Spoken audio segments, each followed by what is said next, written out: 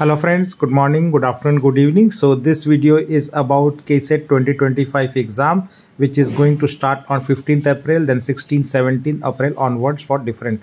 So first I will explain you know uh, if you are attending it what is the dress code. So you should not be uh, wearing any clothes with large buttons. So it is advisable that don't wear the dresses which have very large button because they may think that there may be microphone or any other thing. Then don't wear any pendants right? Jewelry or any kind right? Don't wear caps right on your head. Don't wear thick soles right on your shoes and others. So those are the guidelines which have been uh, mentioned by KEA as per the dress code guidelines right? And other thing is that you should avoid wearing nose pins and chains and necklace right on the upper part of the body. So that is also advised. And you have it is also advised that you wear a light colored clothes with less pockets. So these are the guidelines from the KEA side now KCET 2025 uh, exams are for different subjects. So if you are looking for engineering and the technology courses then your streams or subjects will be PCM which is physics chemistry and mathematics. If you are interested in farm science courses which are basically BSc agriculture sericulture and horticulture right? For those students they will have to appear in physics chemistry maths and or combination of biology physics chemistry biology and maths. So those are the combinations. If you are interested in veterinary sciences animal husbandry naturopathy yoga and the bsc nursing courses for such students you should be appearing for pcb which is biology group. And if the students are interested in b pharma second year uh, b pharma pharma d courses then the eligibility is based on either of pcb or pcm not talking about the passing marks required in KCET right? So first i will start with the hornadu uh, you know gadinadu students. So there is a separate quota in KCET for these uh, students who belongs who belongs to the kannadiga region or where mother tongue is Kannada or Tulu or Kodava or Biari. So if your mother tongue is in this language and you reside in Kannada speaking areas of South Solapur or Akkalkot or Jat or Gadhinglaj taluks of Maharashtra or Kasargod or Hosdurg or Manjeshwara taluks of Kerala.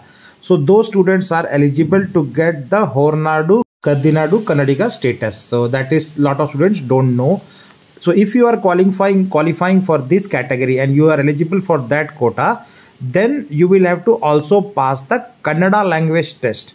And the kannada language test will cover the questions for class 4 level right? So class 4 level whatever you studied in kannada, language that will be asked and the total marks for Kannada language test is 50 and you should get at least 12 marks right if you are not getting 12 marks out of 50 you will not be qualifying or passing the Kannada language test and you will not be eligible for the quota system of this category now I'm going to talk about the other categories or the other students. So KCET 2025 passing marks criteria. If you see just passing marks criteria, there is no minimum marks required in KCET to be called as passed. Everybody who writes the exam is considered as passed.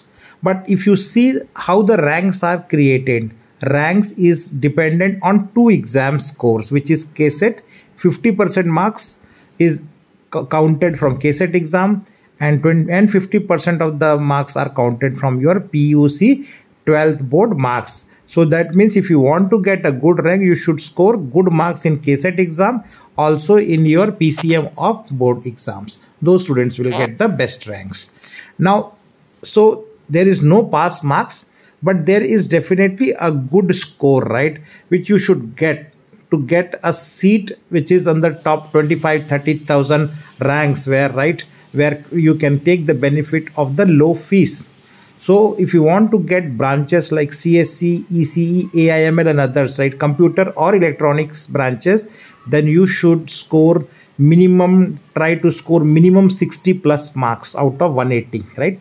At least 20, 20 marks in each subjects of maths, physics and chemistry. Then you are getting 60 plus marks, then only you should take the admission through KCET process.